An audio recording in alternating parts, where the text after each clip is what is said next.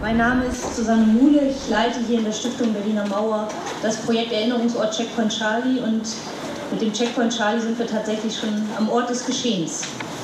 Heute vor 60 Jahren, am 17. August 1962, entscheiden sich zwei junge Ostberliner spontan, eine Flucht über die Berliner Mauer zu wagen.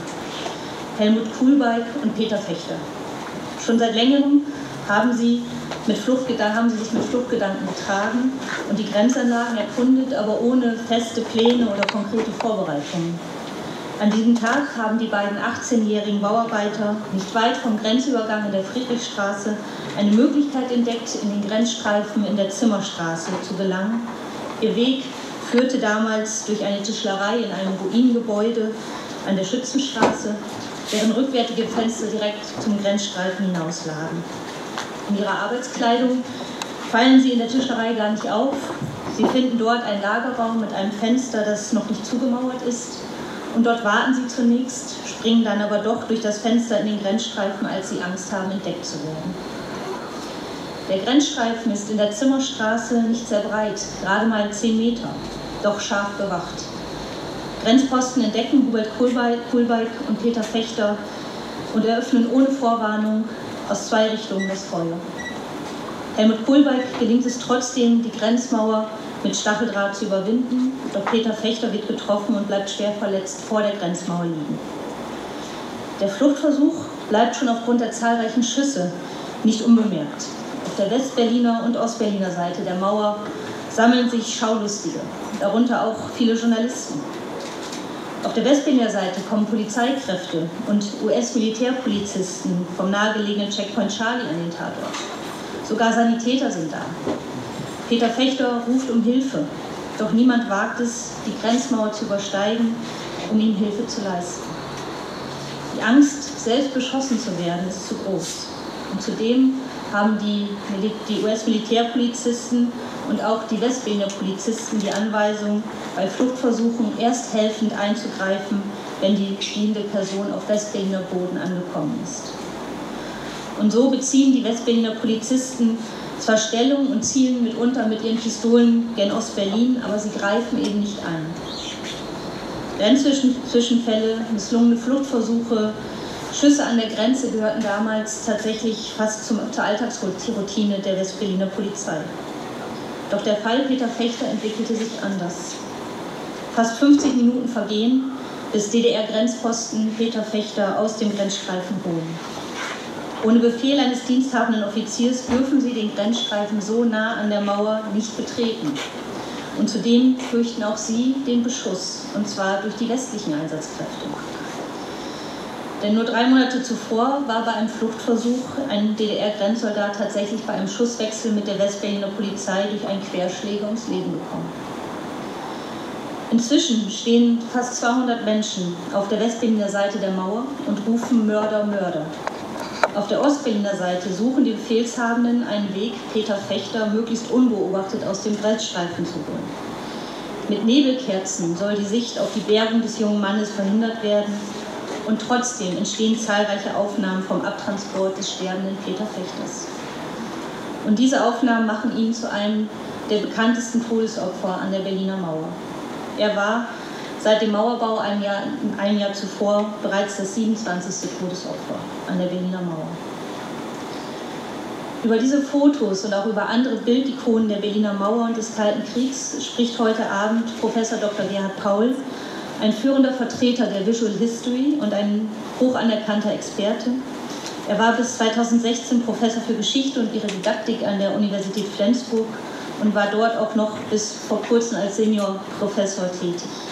Lieber Herr Professor Paul, wir freuen uns sehr, dass Sie unserer Einladung gefolgt sind. Und nach dem Vortrag von Herrn Paul werden wir uns dann der Frage nach der Macht der Bilder in der Vergangenheit und auch in der Gegenwart widmen auf dem Podium. Und für dieses Podiumsgespräch konnten wir die Bildredakteurin Redakteurin Barbara Staus und Anke Wellnitz gewinnen, die meine Kollegin Dr. Sarah Bornhaus gleich noch vorstellen wird auf dem Podium. An dieser Stelle möchte ich aber auch Sie beiden schon herzlich willkommen heißen. Bestimmte Bilder werden wir nie vergessen, schreibt Gerhard Paul in seinem Buch Bildermacht. Und ich zitiere weiter, Sie brennen sich in unser Gedächtnis ein, sie tun etwas mit uns. Sie sprechen uns an, sie appellieren an uns, sie berühren uns und sie können lügen.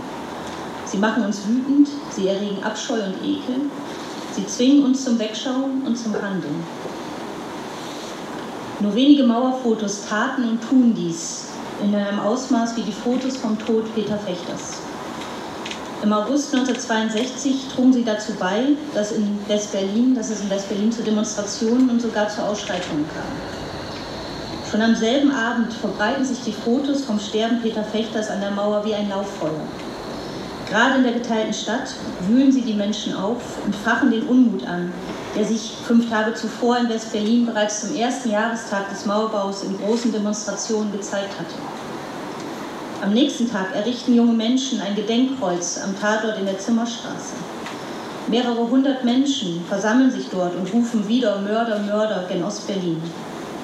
Doch die Wut der Demonstrierenden richtet sich nicht nur gegen die DDR, sondern auch gegen die Westalliierten, insbesondere gegen die USA, die tatenlos zugesehen hatten. Und dies wurde von der Presse durchaus geschürt. So titelte die Bild-Zeitung am 18. August 1962, Zitat, Fopus ließen 18-Jährigen verbluten, Amis sahen zu. Am 19. August sammeln sich Demonstrierende wieder am Checkpoint Charlie und ziehen von dort zum Rathaus Schöneberg, wo der regierende Bürgermeister Willy Brandt versucht, die rund 5000 Menschen in einer spontanen Ansprache zu beschwichtigen, zu besänftigen. Danach formiert sich ein friedlicher Protestzug, der auf dem Kuhfürstendamm schließlich etwa 20.000 Menschen zählt. Und am Tag darauf, dem 20. August, kommt es wieder zu Protesten und in der Kochstraße, also am Checkpoint Charlie, sogar zur Ausschreitung. Die Westberliner Polizisten treiben die Demonstrierenden schließlich mit Wasserwerfern und Gummiknüppeln auseinander. Es kommt zu zahlreichen Festnahmen. Am nächsten Tag errichtet die Westberliner Polizei sogar mit Stacheldrahtrollen eine 100 Meter breite Schutzzone vor der Mauer, um Demonstrierende von ihr fernzuhalten. Doch die Lage beruhigt sich, sodass die Stacheldrahtsperren zwei Tage später wieder weggeräumt werden. Übrigens, Bilder von diesem Ausrollen der Stachel, des Stacheldrahts werden gerne auch mal missinterpretiert und werden für den, für den Mauerbau erachtet. Also werden dann zur Illustration des Mauerbaus verwendet und wenn man genau hinguckt, sieht man, dass es Westberliner Polizisten sind. Äh, da müssen Sie mal drauf achten, wenn Sie Bilder zum Mauerbau sehen. Die westlichen Stadtkommandanten verständigten sich nach einem Gespräch mit dem regierenden Bürgermeister auf die Stationierung eines alliierten Ambulanzwagens am, am Checkpoint Charlie. Das war jedoch nicht viel mehr als eine symbolische Geste, denn auch diese Sanitäter sollten am besten nur auf Westberliner Gebiet zum Einsatz kommen und anderenfalls den Verletzten tatsächlich in ein Ostberliner Krankenhaus bringen. Der Spiegel kommentierte damals spitz, Zitat, ein Ambulanzwagen dient der amerikanischen Armee als neuestes Mittel, um die Moral West des Westberliner Festungsvolkes aufrechtzuerhalten. Und dieser Hinweis auf die Moral der Westberliner Bevölkerung führt mich zu einer Frage, die Sie, Herr Paul, vielleicht heute Abend beantworten werden. Welche Rolle spielten die Bilder von Fechter, Peter Fechters qualvollen Tod bzw. vielmehr ihre permanente Verbreitung eigentlich für die Aufrechterhaltung dieser Moral als die Wut der Westberliner Bevölkerung nachließ und die Mauer immer mehr zur Realität wurde.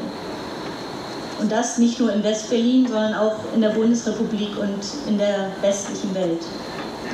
Schon zu Zeiten der Mauer waren diese Bilder ein Symbol für die Unmenschlichkeit des DDR-Grenzregimes und sie sind es bis heute. Hierzu schreibt Gerhard Paul, da möchte ich noch einmal zitieren, Mediale Ikonen, publiziert in Ausstellungen, Zeitschriften, Büchern und Fernsehsendungen, fungieren zunehmend als visuelle Erinnerungsorte, an die sich das Gedächtnis heftet. Zugleich haben sie das Bildgedächtnis in einem bis dato unbekannten Umfang synchronisiert. Zitat Ende. Das scheint mir der Kern dessen zu sein, was wir am heutigen Abend mit dem Blick in die Vergangenheit, aber auch auf die Gegenwart erörtern wollen. Und so übergebe ich nun das Wort an Sie, lieber Herr Professor Paul, und ich wünsche uns allen einen erkenntnisreichen Abend. Vielen Dank.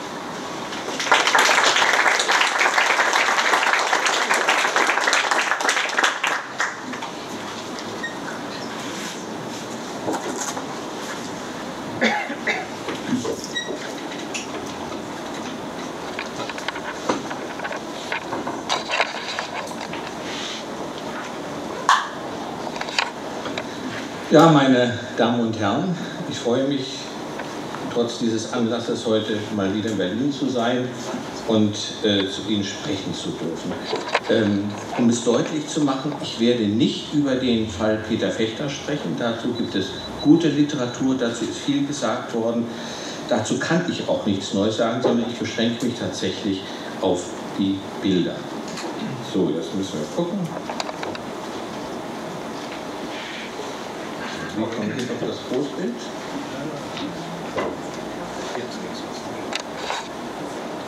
Ah, okay. Dieses Bild des sterbenden Peters Fechters aus dem Jahre 1962 würde heute so nicht mehr publiziert werden. Zum Schutz der betreffenden Person des Opfers würde es allenfalls stark verpixelt, etwa so in Zeitschriften und in Büchern veröffentlicht. Und vermutlich würde auch dieses Bild der Uniformierten, der vermeintlichen Täter, heute eher so aussehen. 1962, als der Springer-Fotograf Wolfgang Behrer, heute äh, Wolfgang Behrer, diese Bilder schoss, kannte man solche Skrupel noch nicht. Im Gegenteil, es galt als geradezu höchst professionell, ganz dicht ranzugehen und auf diese Weise die Betrachter am Geschehen teilhaben zu lassen. Sie kennen vermutlich viele solcher Bilder aus dem Vietnamkrieg.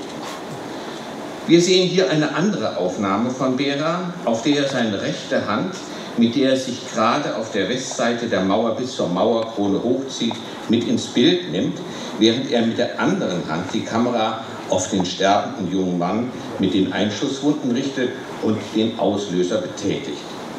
Mit der Hand im Bild beglaubigt der Fotograf die Authentizität der Aufnahme und die Gefahr, in der er sich im Moment selbst befindet. Und wie es sich für einen guten Bildreporter der Zeit gehörte, machte Bera gleich mehrere Aufnahmen des Sterbenden. Bei den Aufnahmen handelt es sich gewissermaßen um Paparazzi-Fotos, die spektakulär und exklusiv sein sollten. Hier ein Lageplan des Geschehens. Zur Entstehung seiner Aufnahmen hat sich Bera später so geäußert, ich zitiere. Ich wollte damals zur Bildredaktion an der Kochstraße. Plötzlich peitschten Schüsse. Ich rannte zum Ruinengrundstück an der Zimmerstraße, nichts zu sehen. Ich wollte schon wieder gehen, da sah ich im vierten Stock im Haus gleich auf der Ostseite eine alte Frau. Sie zeigte mit dem Finger auf die Mauer neben mir, zog die Gardine aber schnell wieder zu. Ich verstand sofort. Da musste einer liegen. Ich kletterte an der Mauer hoch. Die war damals noch aus Ziegeln gemauert, obendrauf Muni-Eisen mit Stacheldraht. Da sah ich ihn, ein junger Mann, direkt neben mir. Er fiel von der Seite auf den Rücken. Mit einer Hand hielt ich meine Leica M2 hoch und drückte ab. Ich rannte zu den Amis am Checkpoint Charlie bat um Hilfe. Auf Alliierte durfte ja nicht geschossen werden. Doch der GI sagte, nicht unser Bier. Scheinbar endlos viel Zeit verging. Ich holte eine Leiter, ein Teleobjektiv, konnte noch fotografieren, wie die vier Grenzer den Toten wegstellten. BAs Aufnahmen bestehen aus zwei Perspektiven. Aus den dramatischen Nahaufnahmen des sterbenden Peter Fechters, den Bera in mehreren Aufnahmen, wie Sie sahen, in seinem Todeskampf ablichtete, einmal auf dem Rücken liegen, ein anderes Mal in Seitenlage, sowie aus einigen anderen, etwa 50 äh, Minuten später gemachten Aufnahmen mit einem inzwischen besorgten Teleobjektiv, die den Sterbenden und die vier Grenzpolizisten gemeinsam ihr Bild zeigen. Beras Aufnahmen waren nicht die einzigen an diesem Tag. Vielmehr war das Sterben des Peter Fechters ein Medienereignis, an dem verschiedene, mindestens fünf Medien und Akteure beteiligt waren, die sich, wie Sie gleich sehen werden, zum Teil gegenseitig ins Bild gerieten. Unter Medienereignis verstehe ich ein Ereignis, das eine große Publizität erzielt, das öffentliche Aufmerksamkeit synchronisiert und gemeinschaftsbildend wirkt, über das gegebenenfalls national oder auch international berichtet wird und das mit seinem Motiv und seiner Ästhetik gegebenenfalls die mediale Routine unterbricht. Wie bei Konrad Schumanns spektakulärem Sprung in die Freiheit ein Jahr zuvor waren bei den Schüssen auf Peter Fechter mehrere Fotografen und zumindest ein Kameramann zugegen. Ein Kameramann, ein Kamerateam mit dem Kameramann Herbert Ernst drehte aus Anlass des Jahrestages des Mauerbaus in der Zimmerstraße im Bezirk Kreuzberg gerade eine Reportage über die Grenze. Ernst, 1939 in Berlin geboren, hat eine Ausbildung als Fotoassistent gemacht und danach drei Jahre als Kameraassistent von Georg Peter Pahl gearbeitet, der wie kein anderer 1933 die Machtergreifung Hitlers im Bild festgehalten hatte. Ab 1961 drehte Ernst als freiberuflicher Journalist einer internationalen Nachrichtenagentur und auch für andere deutsche äh, Fernsehsender etc.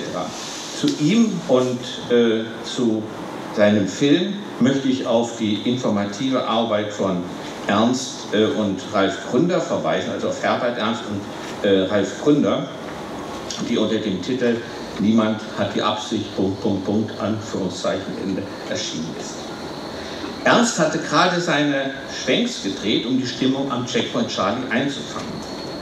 Nebelschwaden einer von DDR-Seite gezündeten Tränengasbombe verrieten ihm, dass in der Nähe etwas Unvorhergesehenes passierte.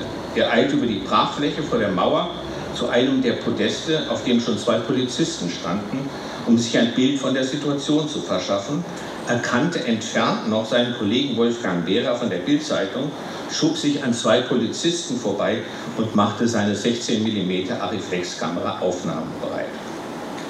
Auf einer Aufnahme eines amerikanischen Soldaten, die haben wir eben aus dem Eingangsbild gesehen, der vom Checkpoint Charlie aus das Geschehen fotografierte, ist, so vermute ich, im Hintergrund äh, der Fotograf zu erkennen. Ich habe einen oder der Kameramann zu erkennen. Die Haltung deutet zumindest auf einen Kameramann hin. Er kommt nachher noch in anderen äh, Varianten ins Bild. Aber ich sehe ja, wir haben hier etliche Experten, die das wahrscheinlich genau ähm, beantworten können, ob er das ist oder ob er das nicht ist. Das ist nicht untypisch, dass sich die Fotografen bei solchen Medienereignissen selbst ins Bild geraten. Ich erzähle immer gerne die Geschichte von dem Vietnam-Mädchen Kim Phuc, dieses nackte Mädchen, dieses Napalm-Mädchen, äh, wo sich die Fotografen selbst ins Bild geraten. Da haben 50 Fotografen und Kameramänner ein und dieselbe Szene fotografiert.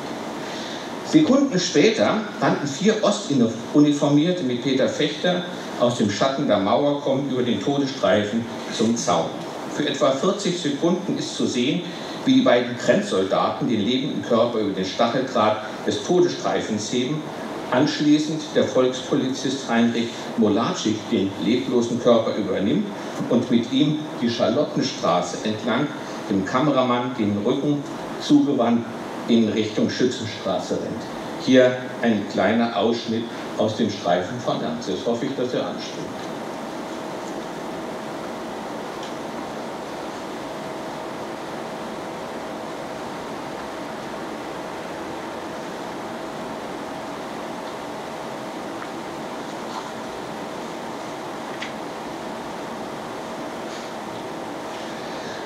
Nachdem Ernst seine Aufnahmen gemacht hatte, begab er sich mit dem hochbrisanten Filmmaterial zu seinem Auftraggeber, von dem er ein kleines Tageshonorar erhielt. Erst im Nachhinein wurde ihm bewusst, was an diesem Tag passiert war. Er hatte zum ersten Mal als Kameramann den Tod an der Mauer gefilmt. Der Tod von vielen anderen, äh, die Zahl ist vorhin genannt worden, erschossenen Maueropfern seit dem Mauerbau war bilderlos geblieben. Ernst, Auf, Ernst Aufnahmen waren bereits am Abend in der Abendschau des Berliner Fernsehens zu sehen. Sie werden bis heute, wie das sich für solche Filme äh, üblich ist, ständig wiederholt. Kein anderes Filmdokument über die Opfer an der Berliner Mauer war vermutlich für die politische Meinungsbildung der westdeutschen Gesellschaft so prägend wie Ernst Filmsequenz.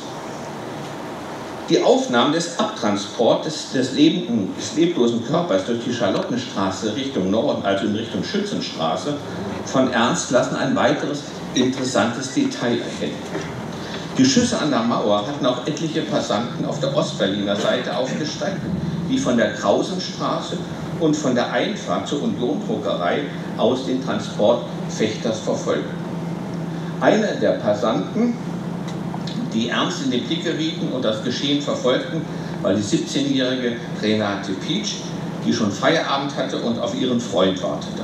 Beide arbeiteten in der nur wenige Meter entfernten Druckerei des Union Verlags unmittelbar an der Mauer. Wie ernst hatte auch sie die Schüsse gehört. Auf der Aufnahme des amerikanischen Soldaten sind weitere Gaffer im Gebäude des Unionhauses zu sehen.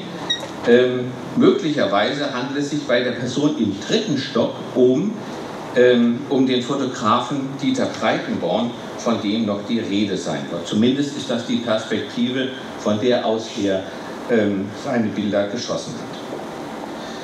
Bei dem Fotografen auf dem Beobachtungspodest an der Ecke Zimmerstraße, Friedrichstraße, somit aus leicht erhöhter Perspektive das Geschehen, äh, der das Geschehen festhielt, handelt es sich um den am Checkpoint Charlie stationierten US-Soldaten Donald Mitchell, der zu privaten Zwecken fotografierte und seine Bilder später in einem Album einklebte. Das Album befindet sich heute in der Sammlung der Stiftung Berliner Mauer. Und schließlich fotografierte auch ein mir unbekannter Angehöriger der Berliner Polizei den schwer verletzten Peter Fechter in fast derselben Perspektive wie Wolfgang Behrer von der Mauerkrone aus.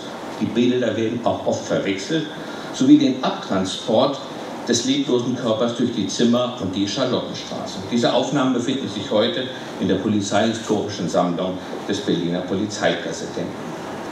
Ob es sich dabei um den Polizeiobermeister Harry Bergau handelt, von dem Sven Felix Kellerhof und Lars Podakai in ihrem lesenswerten Buch Mord an der Mauer sprechen, konnte ich leider nicht verifizieren. Aber vielleicht, Herr Kellerhoff, wissen Sie in der Zwischenzeit mehr. Seit 2011 ist Ernst Filmsequenz allerdings ohne Nennung des Autors wie die Filmsequenz von der Flucht von Konrad Schumann als Teil der Dokumente über den Bau und den Fall der Berliner Mauer im, UNO, äh, im UNESCO-Weltdokumentenerbe Memory of the World verzeichnet, neben der Gutenberg-Bibel, Goethes literarischem Nachlass, Beethovens Neuter Sinfonie, den Hausmärchen der Gebrüder Grimm, dem, dem Nibelungenlied, der Himmelscheibe von Nebra und so weiter. Nach dem UNESCO-Verzeichnis soll sich die Originalfilmrolle der Szene mit dem Stern Peter Fechter heute im Besitz von Spiegel TV befinden. Auch eine Aufnahme des Polizeifotografen schaffte es in das renommierte Verzeichnis Memory of the World. Bera, Ernst und Mitchell und der Polizeifotograf waren nicht die einzigen, die das Sterben von Peter Fechter festhielten. Auch auf Ostberliner Seite wurde fotografiert. Dieter Breitenborn arbeitete als Redaktionsfotograf der Zeitschrift Neue Zeit im Union Verlagsgebäude an der Zimmerstraße, Ecke Friedrichstraße. Sie haben das Bild schon öfters gesehen. Hier noch einmal. Obwohl der Chefredakteur des Parteiblattes der Ost-CDU seinen Mitarbeitern die Weisung erteilt hatte, von den Fenstern fernzubleiben, ließen sich einige hiervon nicht abschrecken. So auch Dieter Breitenborn. Dieser war gerade von einem Auftrag zurückgekehrt, als der Pförtner des Verlagshauses ihn von der Straße zog. Es werde geschossen, er solle sich in Sicherheit bringen. Breitenborn rannte die Treppen hinauf in den dritten Stock, riss das Fenster auf und begann zu fotografieren. Sein Blick auf den am Boden liegenden Peter Fechter diesseits der Mauer war unverstellt. Das unterscheidet seine Perspektive von seinen westdeutschen Kollegen. Von seinem Fenster aus konnte er den Abtransport mit seiner Kamera genau festhalten, ohne aber den Angeschossenen größer ins Bild zu bekommen. Er sah, wie zwei Uniformierte vorrückten, die, wie sie sich über den Verletzten beugten und ihn in seine Richtung trugen. Er nahm wahr, wie auf das Wirken der beiden, Winken der beiden Grenztruppengefreiten hin zwei weitere Uniformierte quer durch das Sperrgebiet direkt an die Mauer liefen und Grenzschützer versuchten, mit Nebelschwaden das Geschehen unsichtbar zu machen, was ihnen indes nicht gelang. Zu viert packten sie den Verletzten und trugen ihn zum hinteren Stacheldraht. Damit verschwanden sie aus Breitenborns Blickwinkel. Jahrzehnte später berichtete der Fotograf über die Situation 1962. Ich zitiere. Auf der Ostseite der Mauer sah ich die Grenzer in Deckung mit ihren Waffen. Ich sah auch, dass da ein Angeschossener an der Mauer lag. Ich holte meine exakte Kleinbildkamera heraus, setzte ein Teleobjektiv drauf und fotografierte. Bei seinen Aufnahmen geriet Breitenborn auch, und ich meine, er ist es, der Kameramann Ernst, äh, Herbert Ernst ins Visier, als dieser gerade sein Beobachtungs-, ein Beobachtungspodest äh, etwa fünf Meter hinter der Mauer erklomm, auf dem sich bereits zwei Polizisten befanden. Breitenborn begab sich, so erzählt er später, sofort in die Dunkelkammer, um sein Material zu entwickeln. Bereits nach wenigen Minuten klopfte es bei ihm an der Tür. Er wurde aufgefordert, das gesamte Material der Staatssicherheit auszuhändigen. Noch einmal Originalton Breitenborn. Zitat. Ich hatte niemandem erzählt, dass ich da Fotos gemacht hatte, aber noch vor Feierabend wurde der Film eingezogen. Vermutlich, so Breitenborn, mussten auch auf Westberliner Seite Informanten der Stasi gewesen sein, die gemeldet haben, dass dort, wie er sagt, jemand etwas aus dem Fenster fotografiert hat. Die Bilder von Breitenborn gelangten erst nach 1989 an die Öffentlichkeit. Sie wurden daher nie so populär wie die Aufnahmen von Behra und von Ernst. Heute befinden sie sich im Archiv des Bundesbeauftragten für die Unterlagen des Staatssicherheitsdienstes der ehemaligen DDR. Neben den Filmaufnahmen von Ernst gelangten zeitgenössisch lediglich die Aufnahmen von Bera, eine gewisse Publizität, so die beschnittene Nahaufnahmen des sterbenden Flüchtlings gleich am nächsten Tag in der Bildzeitung und auch die ebenfalls leicht beschnittene Aufnahme, die den Abtransport der Schwerverletzten zeigt, in der Berliner Morgenpost am selben Tag. Die Produzenten dieser Bilder, über die wurde damals nicht geredet, das ist heute anders. Dass die Filmsequenz von Ernst später lange Zeit nicht dieselbe Aufmerksamkeit erfuhr wie die, Fotografen, die Fotografien von Bera, scheint eine Vermutung von Susan Sonntag zu bestätigen, wonach es weniger die flüchtigen Bilder des Films und des Fernsehens sind, die sich einprägen und das Gewissen mobilisieren, sondern eher die stillen Aufnahmen der Fotografen. Mit der Digitalisierung heute allerdings relativiert sich diese Aussage. Nachdem Ernst Filmsequenz seit 2016 via YouTube und anderen Streamingdiensten abrufbar ist, dürfte sie nun mindestens ebenso populär sein wie die stillen Bilder von Bera, zumindest bei einem jüngeren Publikum. Ich sah Beras Aufnahmen übrigens erstmals 1962 als Gymnasiast in der Zeitung meiner Eltern in einem kleinen Dorf in Nordhessen. Ich kann mich noch heute genau daran erinnern. Ein Jahr zuvor hatte ich mit großer Anspannung den Mauerbau im Fernsehen verfolgt. Dass Menschen an der Mauer starben, war mir bis dato, wenn ich mich recht erinnere, entgangen.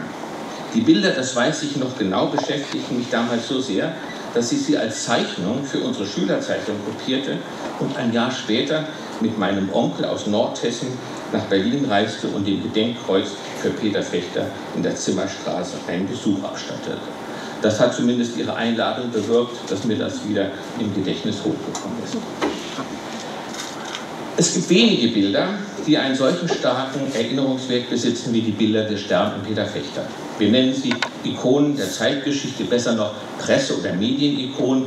Ikonen deshalb, weil sie optisch ein historisches Ereignis bzw. eine existenzielle Lebenssituation auf eine einprägsame und einzigartige Weise verdichten. Wir unterscheiden zwischen anachronen und diachronen Ikonen. Bei den beiden Aufnahmen von Bera handelt es sich um anachrone Ikonen, da sie bereits zum Zeitpunkt ihrer Entstehung größere Publizität besaßen und aus der Fülle der publizierten Pressebilder herausragten. Rein fototechnisch handelt es sich bei den Aufnahmen von Bera um Schnappschüsse, also Situationsaufnahmen, mithin nicht um Inszenierung für die Kameras, wie sie heute zunehmend den Bildjournalismus bestimmen. Dramatisierte Nahaufnahmen der Gewalt mitten aus einem Geschehen heraus waren technisch erst mit kleineren und schnelleren Fotoapparaten möglich. Erstmals gegeben hatte es sie im Spanischen Bürgerkrieg. Sie kennen vielleicht dieses Bild, die berühmte Aufnahme des Falling Soldier von Robert Capa von 1936, 1937 in Live publiziert. Mediengeschichtlich standen solche Aufnahmen für Publikationsformate der Massenpresse die komplexe Situation aufgrund der Aufmerksamkeitsökonomie auf einzelne ikonische Bilder reduzierten. Presseikonen sind Bilder auf einem publizistisch-medialen Träger, die aufgrund ihrer besonderen Eigenschaften aus der allgemeinen Bilderflut herausragen. Diese Eigenschaften gründen in ihrer spezifischen, bildnerischen, ikonischen Kraft oder aber oder und in ihrem symbolischen Mehrwert, der ihnen einen hohen Aufmerksamkeitswert verschafft. Der symbolische Mehrwert solcher Presseikonen besteht darin, dass sie in der Lage sind, über das abgebildete Ereignis hinaus oder die abgebildete Person hinaus eine eigene Geschichte zu erzählen und dabei als Symbol großer Werte und Gefühle erscheinen, wie etwa des Schreckens des Krieges, der Hybris der Technik, des Widerstandes gegen Unterdrückung, der Versöhnung von einstigen Gegnern oder auch, wie in unserem Fall, des Schreckens der Teilung. Es sind gleichsam Schlüsselbilder, mit deren Wiedererkennung bestimmte Erinnerungsgehalte und Geschehnisse und Geschichten aufgerufen werden können, wie ich das ja selber jetzt nach Ihrer Anfrage bei mir erlebt habe. Aus kunsthistorischer Sicht und bildwissenschaftlicher Sicht verfügen solche Bilder zusätzlich über besondere medienspezifische und formalästhetische Qualitäten sowie über Affinitäten zu vertrauten Bildern und Ikonografien, die sich zum Teil wechselseitig bestärken, diese Bilder erst befähigen, zu Ikonen zu werden. Die ikonische Kraft solcher Bilder kann in unterschiedlichen bildnerischen Besonderheiten zum Ausdruck kommen.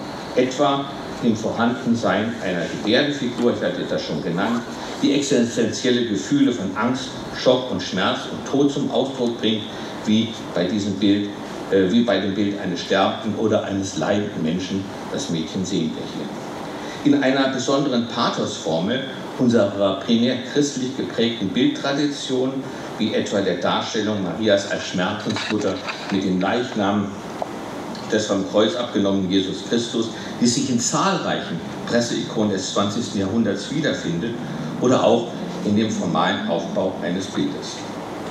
Dass sich ausgerechnet die Aufnahmen von Behra als Schlüsselbilder für Sterben und Tod an der innerdeutschen Grenze durchsetzen konnten, hatte mehrere Gründe. Zunächst waren es die einzigen Nahaufnahmen des Geschehens. Darüber hinaus war es der formale Aufbau des Bildes, das es zur Ikone werden ließ.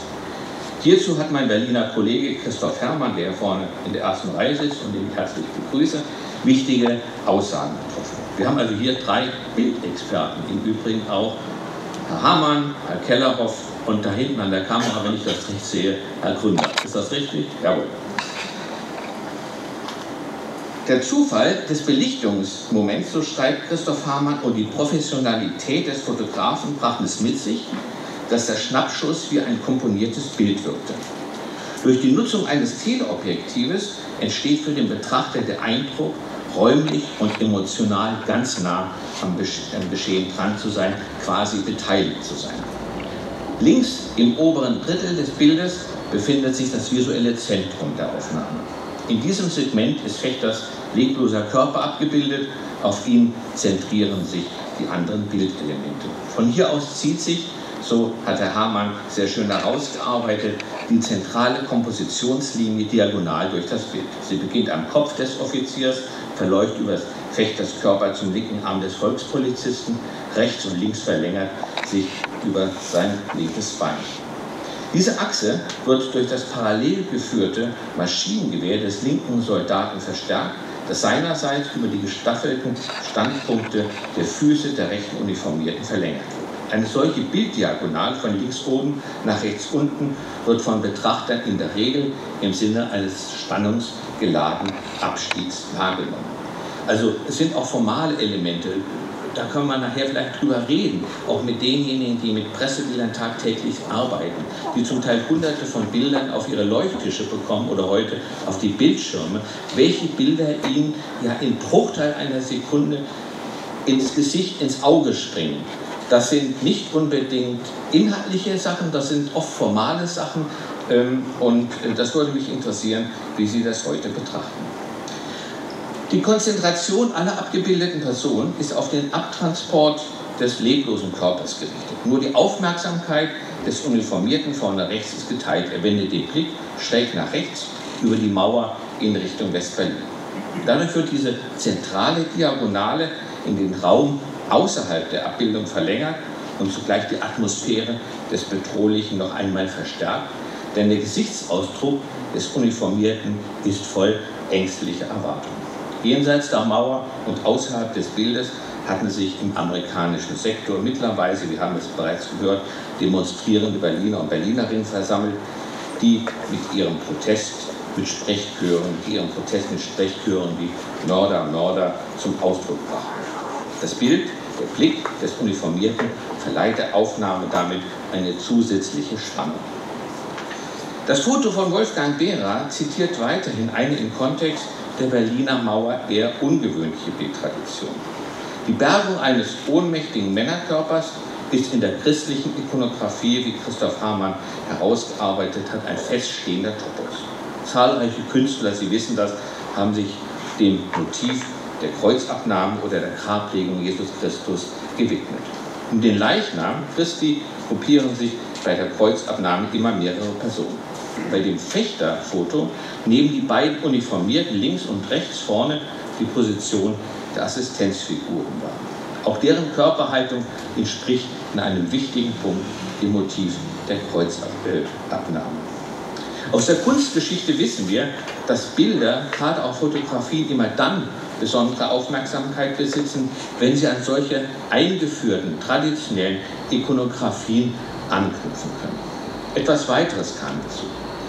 Beras Fotografie besitzt eine narrative Struktur. Sie erzählt vermeintlich die Geschichte eines sterbenden Opfers und die seiner Täter, die gemeinsam in einem Bild erscheinen. Sie regt ihre Fantasie an, die Fantasie des Betrachters, der Betrachterin. Täter und Opfer sind in diesem Bild nicht mehr nur anonyme Personen, sondern erscheinen mit ihrem Gesicht und damit identifizierbar im Bild, wie übrigens auch in vielen Fotografien aus dem Vietnamkrieg, wo wir Täter und Opfer gleichermaßen im Bild sehen. Allerdings beruht diese Annahme auf einem Fehlschluss, ähnlich wie bei dem Bild des Vietnam-Mädchens. Äh, denn wir glauben vermeintlich den Leid, äh, den vermeintlich den Todesstützen im Bild zu sehen. Wir sehen ihn aber nicht. Er erscheint, wenn ich es recht sehe, in keinem einzigen äh, der Aufnahmen. Die Uniformierten äh, auf Beras Aufnahmen haben vielmehr versucht, wenn auch viel zu spät, dem Angeschossenen zu helfen und ihn aus der Todeszone zu tragen. Bei der anderen eher selten publizierten Aufnahme von Bera, von dem sterbenden Peter Fechter, handelt es sich um einen bewussten Tabubruch, der voyeuristische Bedürfnisse bediente. Entsprach der Blick über die Mauer bis dato der sogenannten Teichoskopie des antiken Dramas, bei der über den Schrecken jenseits der Mauer berichtet wurde, ohne dass dieser Schrecken dem Publikum aber selbst äh, erscheinen konnte, so machten die Aufnahmen von Bera erstmals einen unmittelbar unverstellten Nachblick auf das Schrecken jenseits von Mauer und Stacheldraht in Gestalt eines sterbenden Flüchtlings möglich. Im sicheren Sessel des Zeitungslesers, der Zeitungsleserin konnte man sich am Schrecken ergötzen, den man ja immer schon geahnt hat. Gleichsam zur Natur von Ikonen der Zeitgeschichte gehört es, dass diese in unterschiedlichen Zusammenhängen zitiert und reproduziert werden. Dies war bei Beras Aufnahmen und dem Foto des Polizeifotografen nicht anders. Sie wurden als öffentliche Erinnerungszeichen im öffentlichen Raum in der Gedenkstättenkultur reproduziert, auf Buchtiteln oder dreidimensional auch als Skulptur reproduziert wechselten dabei das Trägermedium oder wurden als öffentliches Reenactment, wie in der Performance The Death of Peter Fechter des walisischen Künstlers Mark Cook aus dem Jahr 2007 verarbeitet. Ich möchte Ihnen einen kurzen Ausschnitt hier daraus vorspielen.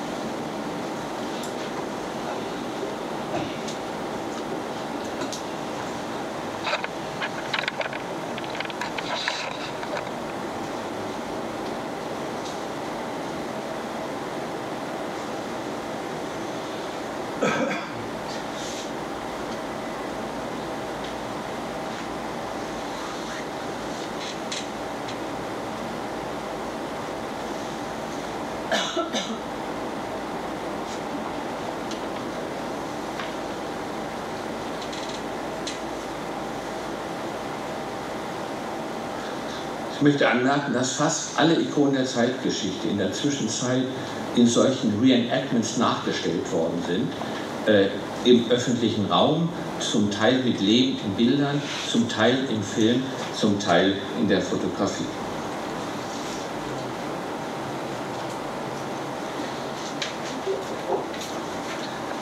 Es sei angemerkt, dass der Fall des angeschossenen Peter Fechter kein besonderer Fall und Sie haben es schon gesagt, Frau Muhle, an der innerdeutschen Grenze war, sondern erst durch die veröffentlichten Bilder zu einem solchen wurde.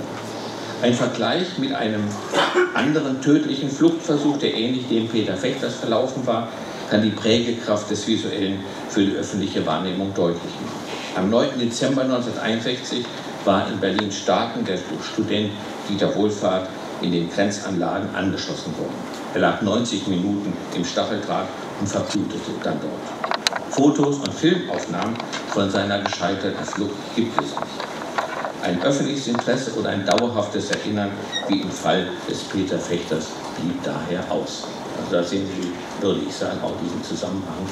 Es kommt eigentlich nur das in unser Gedächtnis, weil es was uns irgendwie als Bild, die wir das nicht unmittelbar erlebt haben, was wir als Bild auch wahrnehmen. Zur Ikonografie des Kalten Krieges, in die sich diese Aufnahmen eintreiben. Beide Aufnahmen von Bera und auch die des Polizeifotografen fügten sich ein in eine bekannte Ikonografie des Kalten Krieges, gaben dieser zugleich aber auch neue Akzente. Erstmals schauten, pardon, erstmals schauten mit ihnen die Betrachter durch den Stacheldraht, der auf beiden Aufnahmen deutlich erkennbar ist, auf die andere Seite der Mauer ins Innere eines barbarischen Regimes. Als mit hoher Assoziationskraft ausgestattete Symbole der Teilung und der Kontrolle fungierten Stacheldraht und seit einem Jahr nun auch die Mauer als Weg- und Orientierungsmarkt, als Grenz- und Höhenlinien auf der mentalen Karte der Wahrnehmung. Sie waren Markierung von Gut und Böse, von Demokratie und Unterdrückung, von Leben und Tod. Ikonografisch waren Stacheldraht und Mauer Massensymbole, die bereits lange vor der deutschen Teilung existierten und das 20. Jahrhundert als Jahrhundert der Gewalt und der Extreme konnotierten. Lange bevor sie zu Bestandteilen der bildpropagandistischen Auseinandersetzung um die innerdeutsche Grenze wurden, waren sie Ausdruck von Realerfahrung von Frontsoldaten, von KZ-Häftlingen und sowjetischen Kriegsgefangenen gewesen. Dementsprechend handelt es sich bei ihnen auch später nie nur um wertneutrale Darstellungselemente, sondern immer schon um Bilder mit spezifischen Emotionen und einer eigenständigen Aura. Also Stacheldraht hatten viele der Zeitgenossen selbst erlebt, aus ganz unterschiedlichen Perspektiven. Als Produkt des industriellen Zeitalters hatte sich der Stacheldraht früh in den, Abi Warburg hat es so geschrieben, in den Leitschatz der Menschen eingeschrieben. In Grafik, Literatur und Film war er spätestens seit dem Ersten Weltkrieg präsent. In der unmittelbaren Nachkriegszeit, nach dem Zweiten Weltkrieg, bildete der Stacheldrahtzaun hinter dem ausgemergelte Menschen auf die Befreiung warteten oder dem Tode entgegensahen, eines der häufigsten verwendetsten Motive in Fotografie, Film, Malerei und politischer Grafik und Plakat.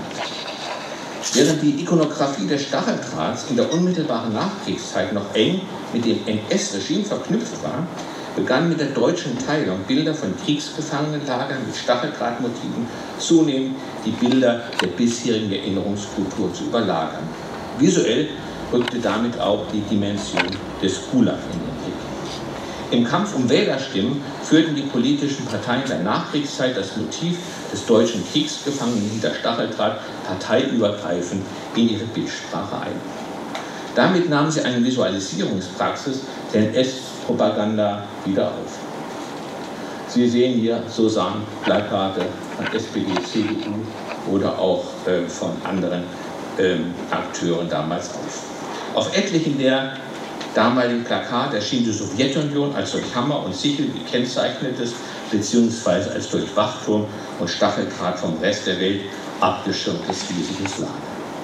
In diese Kriegsgefangenen-Ikonografie bezog man seit 1947 die Darstellung der Zonengrenze beziehungsweise gleich der gesamten sowjetischen Besatzungszone ein.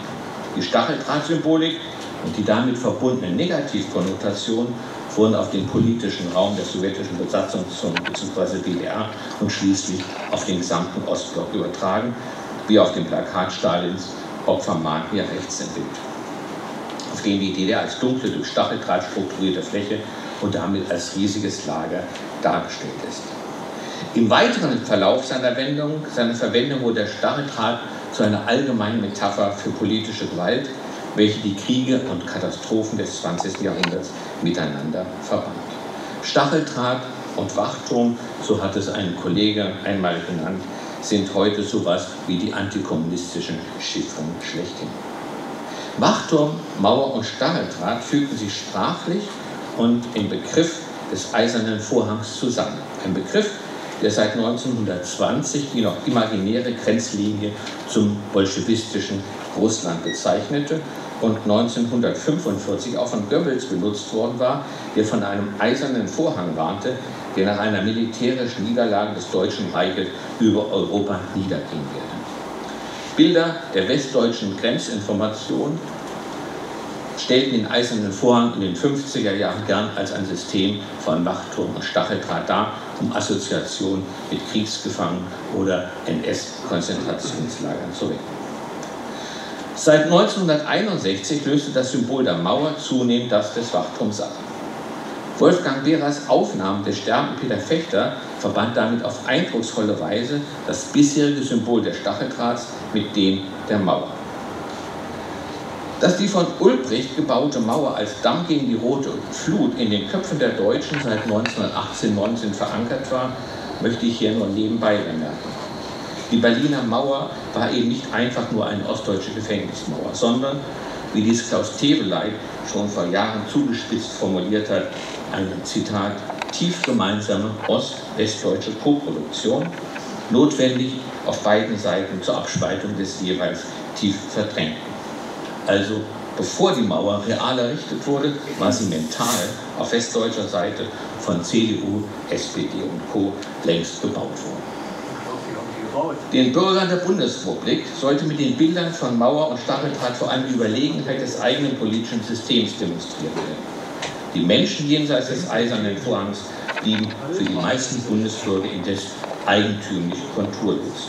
Wenn sie überhaupt einmal ins Bild gerieten, erschienen sie allenfalls als gesichtslose Masse oder als Schattenrisse, kaum einmal als konkrete Menschen. Das änderte sich mit den Aufnahmen des, sterbenden Peter Fechters. Die bislang eher abstrakte und anonyme Ikonografie des Kalten Krieges erhielt mit ihnen konkrete Gesichter, sowohl des Opfers als auch der vermeintlichen Täters. Dass Beras Aufnahmen in der Presse schnell zu Referenzbildern der deutschen Teilung wurden, überrascht somit nicht. Ganz in diesem Sinne wertete der Spiegel die Bilder, Zitat, als Symbol des brutalen Grenzregimes und schrieb die Welt, Beras Aufnahme sei so, Zitat, Ikone der Unmenschlichkeit des SED-Regimes. Es ist ein Symbol für die Verachtung des Freiheitswillens von Menschen. All dies war letztlich nicht unproblematisch, also die Veröffentlichung solcher Bilder war nicht unproblematisch. Mit den Bildern von Stacheldraht und Mauer und auch dem Bild eines an der Mauer verbluteten propagierten die westdeutschen Medien, die via Fernsehen ja auch Millionen DDR-Bürger erreichte, sicherlich und natürlich gegen jede Absicht zugleich immer auch die Abschreckungs- und Drohbilder des DDR-Regimes. Alle diejenigen, die nicht entlang der Sperranlagen der Sperranlagen lebten, bzw. sie als äh, Flüchtlinge real überwunden hatten, kannten Stacheldraht und Mauer nur als Bilder aus den Medien, somit als visuelle Konstruktion. Es ist interessant, dass solche Bilder in der Entspannungspolitik, in der Entspannungszeit der Ära Brand dann immer seltener publiziert wurden. Anders als die bilderlos bleibenden Mauermorde zuvor lösten die Berichte über das Sterben von Peter Fechter, und Sie haben darauf hingewiesen, und ich will es nicht nochmal wiederholen, angeheizt auch sicherlich durch die Presse, einen Sturm der Empörung und des Protests in Berlin aus, der sich gegen die DDR und ihr Mauerregime sowie gegen die Alliierten richtete. Sicherlich, und ich gehe davon aus, dürfen die Aufnahmen, die Filmaufnahmen von Herbert Ernst und die Fotografien insbesondere von Wolfgang Behrer hierfür ausschlaggebend sein, sein, dass sie das Sterben eines Mauerflüchtlings hautnah erleben ließen. Solche Bilder hatte man in Berlin vorher noch nicht gesehen. Ich, ohne das jetzt zu wiederholen, ich zeige Ihnen einfach nochmal einige äh, dieser Bilder, die dann in den nächsten Tagen entstanden und für die ich tatsächlich diese Bildberichterstattung verantwortlich machen möchte.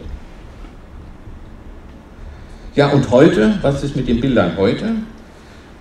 Längst zirkulieren die Aufnahmen vom Sterben und vom Tod des Peter Fechters für jeden nutzbar, global, auch im Internet und werden dort für die unterschiedlichsten Zwecke genutzt.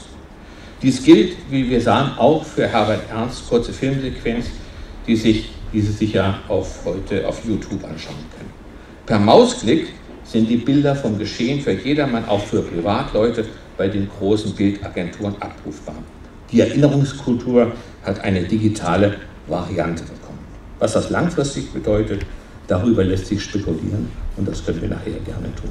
Ich danke Ihnen für Ihre Aufmerksamkeit.